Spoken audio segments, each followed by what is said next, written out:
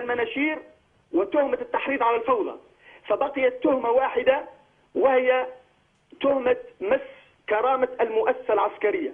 بهذا المقال عندما قال أنني أرى عناصر الجيش تتطالب كالفئران فأنا أقول أن المؤسسة العسكرية إذا أردت أن أعطيها الحق بأنها بأن اعتبرت أن هذا مس من, من, من كرامتها فتقدم قضية ويكون أخي بريء في بيته لأنه لم يقم بأي جرم وعندما يقوم بمحامي ويكون تقاضي أمام محكمة وأمام قضاء عادل و أما لكن هو اختطف من بيته كأنه اختطف من بيته قبل العيد بأربع أيام وقضى العيد في المحك يعني في السجن ثم الآن هو حكم عليه بشهرين سجن وهو الآن في السجن فهل هذه هي الثورة؟ هل هذه الديمقراطية؟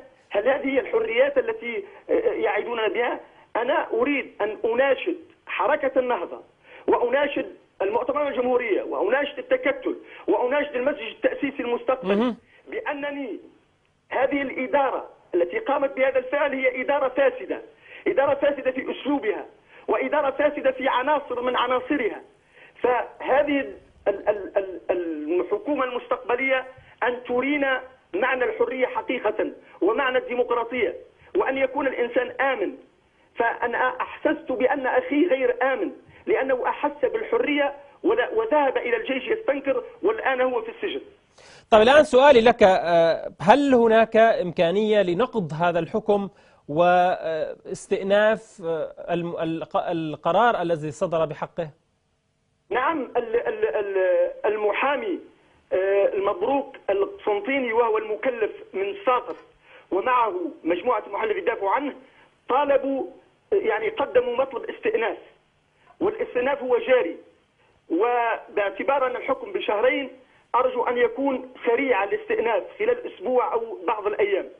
ثم ربما سيطالبون بالسراح الشرطي ولكن أنا من موقعي باعتبار قضية حرية رأي وباعتبار قضية يعني مس من حرية الإنسان فيما يعبر عنه.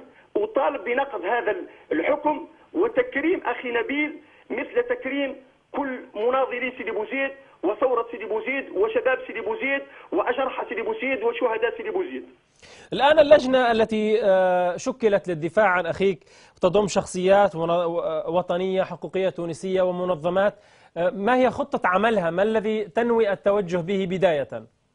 اللجنة في الأول تكونت حتى للمؤسسة العسكرية وللحكومة الحالية وللقضاء التونسي وللاعتقال وغيره بأن المجتمع المدني قوي. والأستاذ عبد الستار بن موسى